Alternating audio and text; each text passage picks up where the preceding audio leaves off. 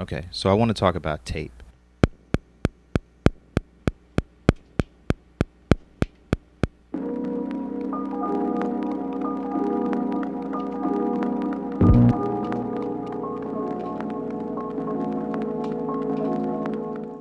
So today, very briefly, I want to talk about tape. Um, so let's back up a second. Every piece of gear has something that it excels at, something that it's extremely good at that no other piece of gear can can really do and achieve. Um, and tape, especially today, because it's become kind of trendy, everyone's nostalgic. I think people are glorifying tape and you know imagining it's just going to warm up your mix and give you this warm kind of gooey 70s sound or 80s sound or whatever but that's not exactly what tape does uh, not exactly um, so i just started experimenting with using tape machines specifically this one behind me it's the akai 280d ss uh, which is a quadraphonic four channel four track quarter inch tape machine every time i would run an entire mix through it it sounded kind of like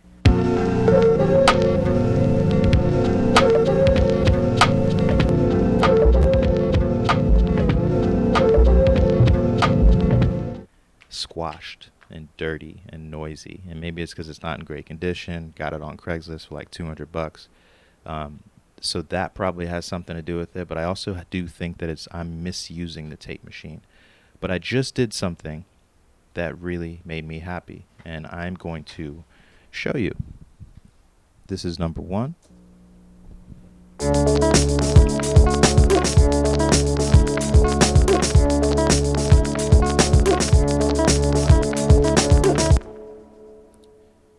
And now this is mix number two.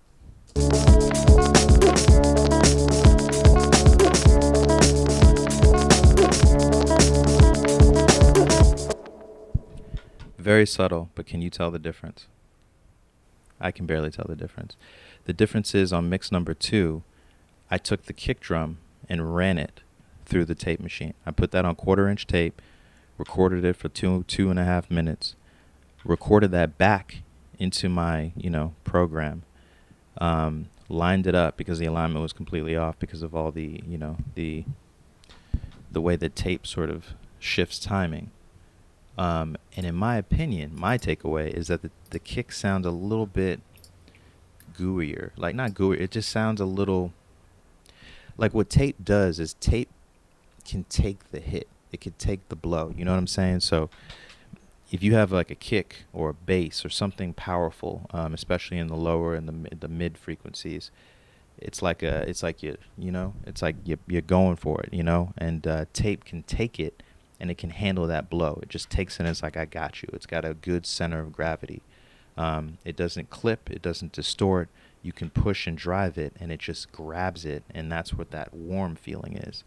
And so what I find is that when you do it and people don't even know you're doing it. So if you do it in a subtle way where you're not crunching all the transients and the highs, um, or making it all warbly and distorted, if you're just really subtle with it and just do it on individual elements like a chord here, or a kick drum or a bass note, um, it fits in the mix a lot better, and it just kind of creates this feeling that feels a little bit more. Um, you know what it is? It's it creates something that you can feel, um, but you can't put your finger on where it's coming from. You know, just for me in this new mix, the kick is just better. It sits in the mix better. It's a little bit more natural sounding, and it sounds a bit like you know, it sounds like a cassette. It sounds like an, a tape machine. And I think there's something to that.